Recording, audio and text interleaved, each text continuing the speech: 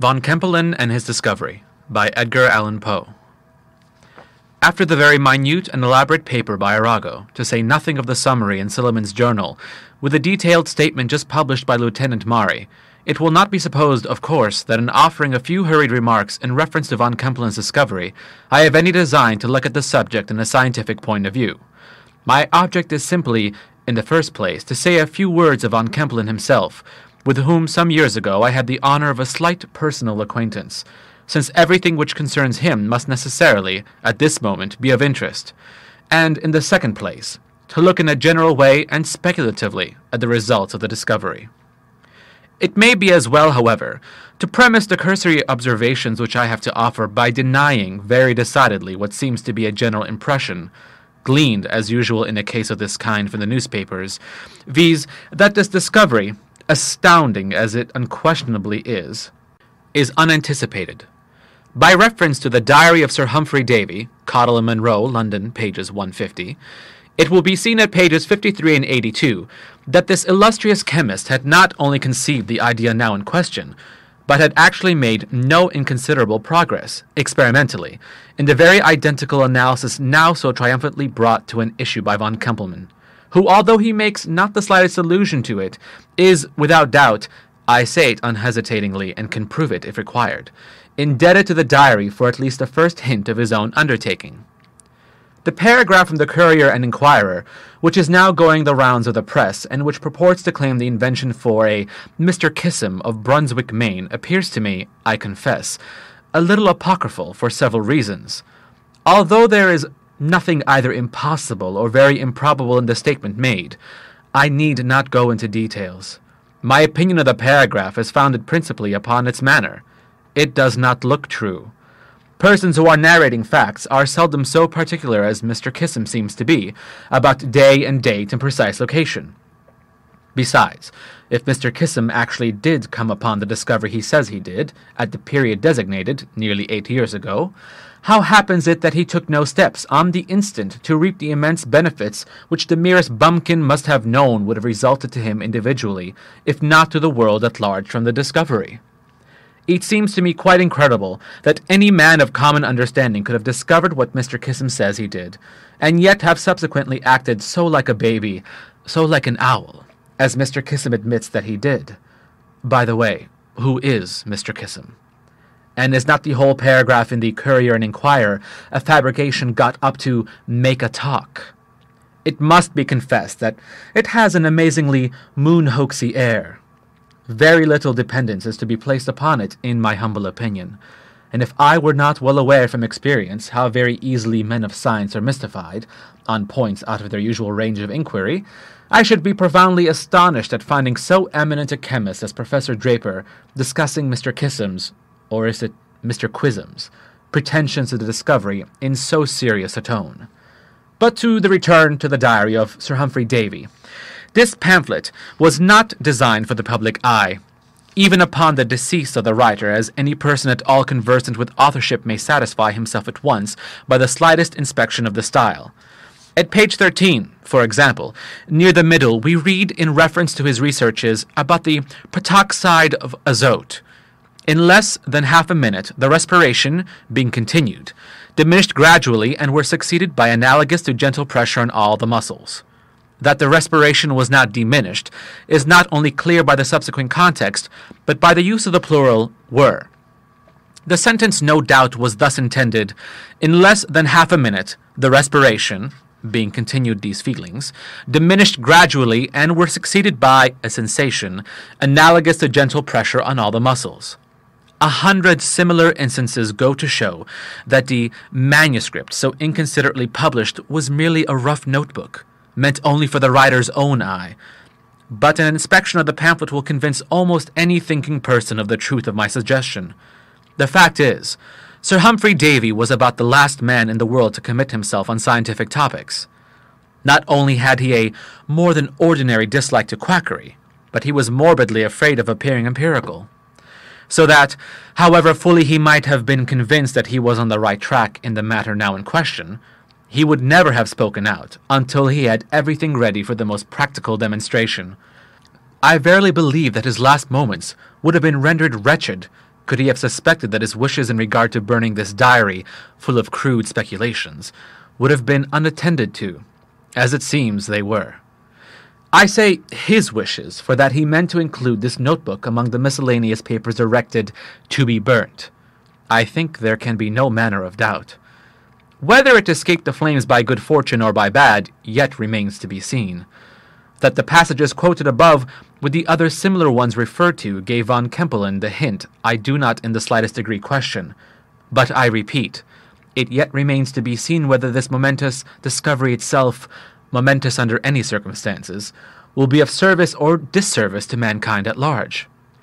That von Kempelen and his immediate friends will reap a rich harvest, it would be folly to doubt for a moment. They will scarcely be so weak as not to realize, in time, by large purchases of house and land with other property of intrinsic value. In the brief account of von Kempelen, which appeared in the Home Journal, and has since been extensively copied, several misapprehensions of the German original seem to have been made by the translator, who professes to have taken the passage from a late number of the Pressburg Schnellpost. Viel has evidently been misconceived, as it often is and what the translator renders by sorrows is probably Leiden, which in its true version, sufferings, would give a totally different complexion to the whole account. But, of course, much of this is merely guess, on my part. Von Kempelen, however, is by no means a misanthrope, in appearance at least, whatever he may be in fact. My acquaintance with him was casual altogether, and I am scarcely warranted in saying that I know him at all, but to have seen and conversed with a man of so prodigious a notoriety as he had attained, or will attain in a few days, is not a small matter as time goes. The literary world speaks of him confidently as a native of Pressburg, misled perhaps by the account in the home journal, but I am pleased in being able to state positively, since I have it from his own lips, that he was born in Utica, in the state of New York, although both his parents, I believe, are of Pressburg descent. The family is connected in some way with Maelzel of automaton chess player memory. In person, he is short and stout, with large, fat blue eyes, sandy hair, and whiskers, a wide but pleasing mouth, fine teeth, and I think a Roman nose. There is some defect in one of his feet. His address is frank, and his whole manner noticeable for bonhomie. Altogether, he looks, speaks, and acts as little like a misanthrope as any man I ever saw. We were fellow sojourners for a week about six years ago at Earl's Hotel in Providence, Rhode Island, and I presume that I conversed with him at various times for some three or four hours altogether. His principal topics were those of the day, and nothing that fell from him led me to suspect his scientific attainments. He left the hotel before me, intending to go to New York and thence to Bremen. It was in the latter city that his great discovery was first made public, or, rather, it was there that he was first suspected of having made it. This is about all that I personally know of the now immortal von Kempelen, but I have thought that even these few details would have interest for the public. There can be little question that most of the marvelous rumors afloat about this affair are pure inventions, entitled to about as much credit as the story of Aladdin's lamp. And yet, in a case of this kind, as in the case of discoveries in California, it is clear that the truth may be stranger than fiction. The following anecdote, at least, is so well authenticated that we may receive it implicitly. Von Kempelen had never been even tolerably well off during his residence at Bremen, and often, it was well known, he had been put to extreme shifts in order to raise trifling sums. When the great excitement occurred about the forgery on the house of Gutsmuth and Co., suspicion was directed toward von Kempelen on account of his having purchased a considerable property in Gasperitch Lane, and his refusing, when questioned, to explain how he became possessed of the purchase money. He was at length arrested, but nothing decisive appearing against him, was in the end set at liberty. The police, however, kept a strict watch upon his movements, and thus discovered that he left home frequently, taking always the same road, and invariably giving his watchers the slip in the neighborhood of the labyrinth of narrow and crooked passages known by the flash name of the Dondergat. Finally, by dint of great perseverance, they traced him to a garret in an old house of seven stories, in an alley called Flatzplatz, and coming upon him suddenly, found him, as they imagined, in the midst of his counterfeiting operations. His agitation is represented as so excessive that the officers had not the slightest doubt of his guilt. After handcuffing him, they searched his room, or rather rooms, for it appears he occupied all the mansard. Opening into the garret where they caught him was a closet, ten feet by eight, fitted up with some chemical apparatus of which the object has not yet been ascertained. In one corner of the closet was a very small furnace, with a glowing fire in it, and on the fire a kind of duplicate crucible, two crucibles connected by a tube. One of these crucibles was nearly full of lead in a state of fusion, but not reaching up to the aperture of the tube, which was close to the brim. The other crucible had some liquid in it, which, as the officers entered, seemed to be furiously dissipating in vapor. They relate that, on finding himself taken, Kempelen seized the crucible with both hands, which were encased in gloves that afterwards turned out to be asbestic, and threw the contents on the tiled floor. It was now that they handcuffed him, and before proceeding to ransack the premises, they searched his person.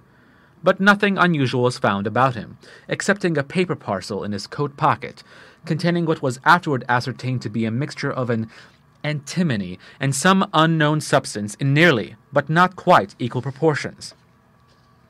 All attempts at analyzing the unknown substance have, so far, failed, but that it will ultimately be analyzed is not to be doubted. Passing out of the closet with their prisoner, the officers went through a sort of antechamber in which nothing material was found, to the chemist's sleeping room. They here rummaged some drawers and boxes, but discovered only a few papers, of no importance, and some good coin, silver and gold.